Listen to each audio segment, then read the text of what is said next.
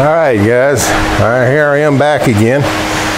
Uh, the other day I, I quit because when I cut my grooves in these panels, you can see here how I just chewed up that plywood. That just that just surprised the heck out of me because that's never happened before.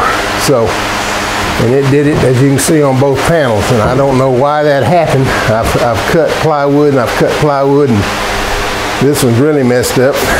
But anyhow, I'm going to take my 80 grit sander here and see if it'll clean most of this off. Let's see what happens.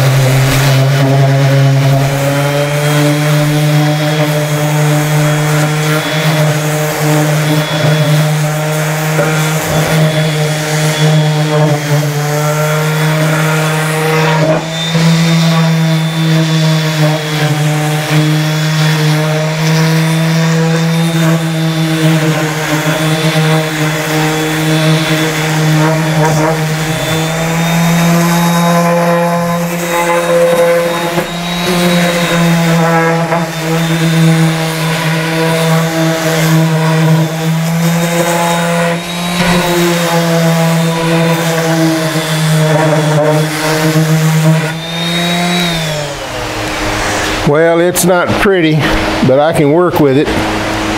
Again, this is going to be the rear interior of the cabinet. This won't show when the cabinet's put together. By the time it's painted, it probably won't look that terribly bad. So I'm going to go ahead and uh, do the other piece.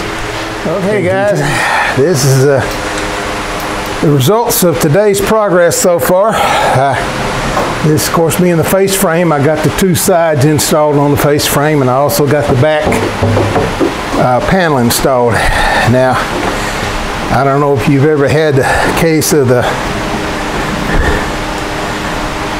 dumbass, I guess is what I'm trying to say. Back itis, a mess up or something.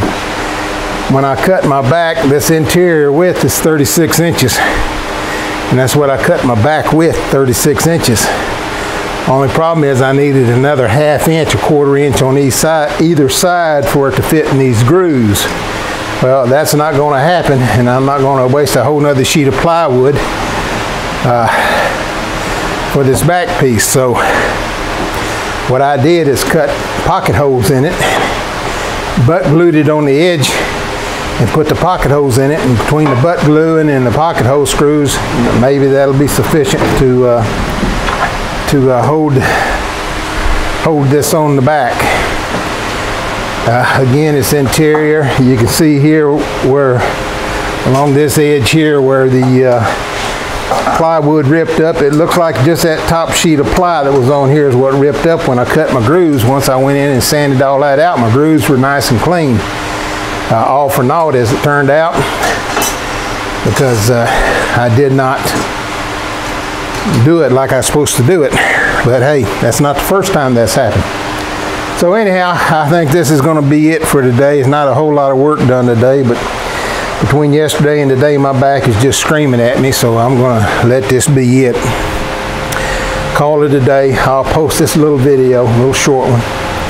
And uh, when I start again tomorrow or the next day, depending on how I feel, we'll be working on uh, putting in the uh, faceplate here that goes in here to where I'm going to install my drawers. I get that in and then I'll be working on putting my drawers in. I got to put my uh, divider in here for my drawers.